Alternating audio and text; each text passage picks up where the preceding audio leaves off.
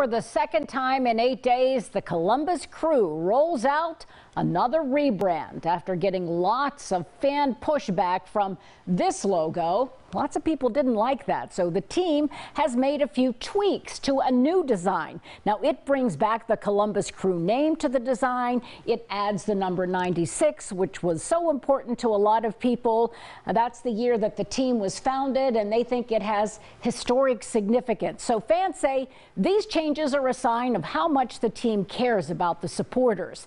At NBC4's Alan Henry is live at historic Crew Stadium. So, Alan, the fans, they're no stranger to fighting for their team and now fighting for what they want, right?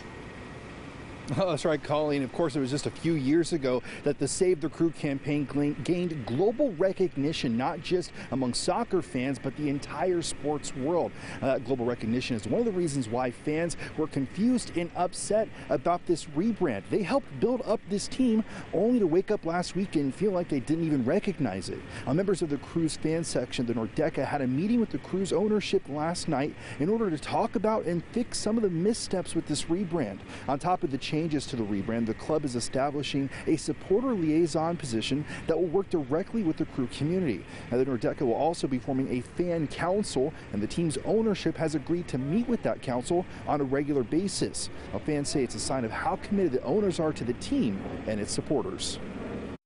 These are things that don't happen a lot in professional sports. Uh, and so for us to have our voices heard on this current issue and then and it and it be resolved with a compromise, but a good compromise, and then also to put you know mechanisms in place to build a better relationship going forward, I think uh, is a huge positive step. That's not to say the fans are still 100% excited about the remaining changes to this rebrand, especially that new new logo, I guess you could say. Many of them saying the previous crest is perhaps the only thing the previous owner of the team got right. Local for you, Alan Henry, NBC4.